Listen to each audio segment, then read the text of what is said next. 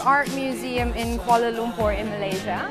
I brought you here because nobody comes here honestly, because it's beautiful, it's amazing. We're in the lobby right now, the main lobby, uh, with the massive dome above. Every time I've come here, it's been quiet, and it's so big, and it's just so beautiful. It's such a shame that people don't know about it.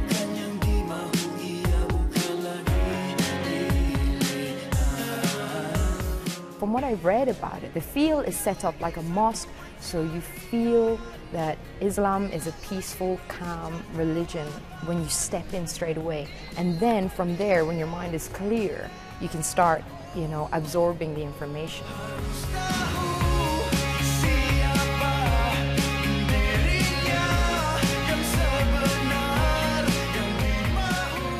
This is, uh, this is the floor that I really, really love.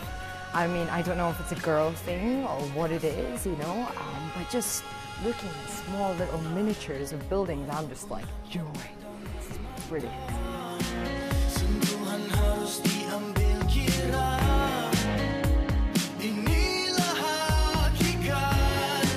You'll learn the history and how Islam itself traveled throughout the world and, and how it came to be. We have China, Islamic architecture in China, and then you've got the Taj Mahal, obviously the symbol of love. This is actually the curtain that is used to cover the door of the Kaaba in Mecca and it's called the Kiswa. And this one's actually the original curtain cover from 1964 so the Islamic Art Museum of KL managed to get an actual curtain cover, an actual kiswa from the door of the Kaaba, which is a very big deal because Kaaba is the center of the religion. I think Malaysia has done a really good job of, of being modern, technologically advanced, and the people have access to the world now, and they do, they travel and whatnot, and the world has access to Malaysia, which is great. Um, but I do sense, in terms of the clothing of the people, um, uh, the messages that are, that are sent out from the leaders, there's a protectiveness for the culture and religion that is stronger than it used to be. And that I, I feel for sure. That's just my opinion. Okay, so you've seen the controlled, clean, proper side of KL, um, the heart of KL, the religious side of KL.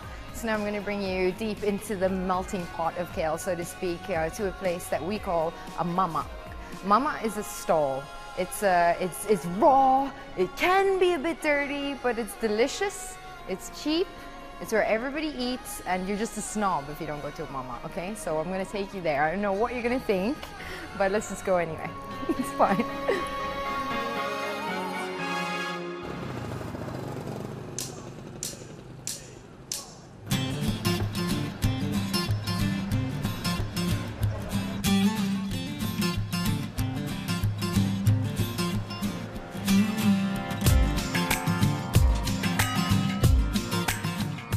This is um, quite a popular neighborhood called Bangsar, and this is the main street of Bangsar. This is Jalan Telawi.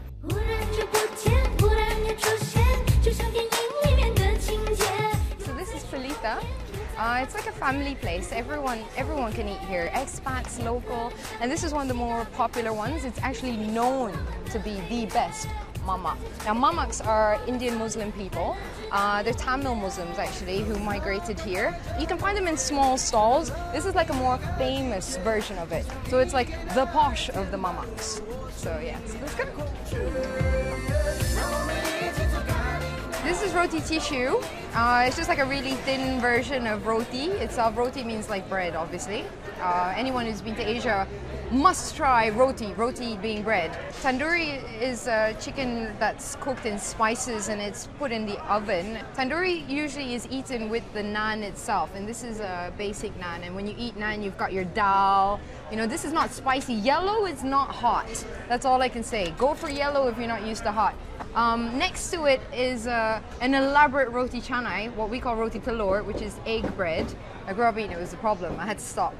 This is biryani, chicken biryani. Now, there's different types of biryani in Asia. This is not like your Indian, it's not, it's not traditional Indian biryani. It's closer to Iranian biryani. Bet you didn't know that. Fried chicken, egg, and vegetable. What more do you want in life? It's brilliant. I love it.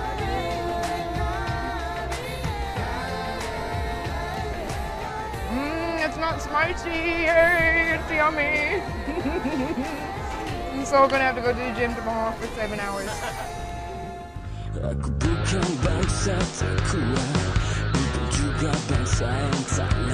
This is Changkat Bukit Bintang.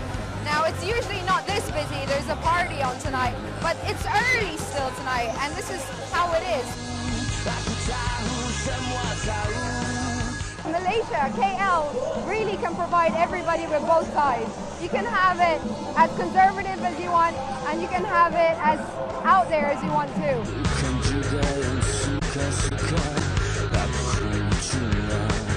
We consist of the Malays, the Chinese, the Indians, and uh, the culmination of of these cultures, right, and, and the way and manner it, it, it, it, it works together makes KL very, very interesting. Tahu semua tahu Aku tahu semua tahu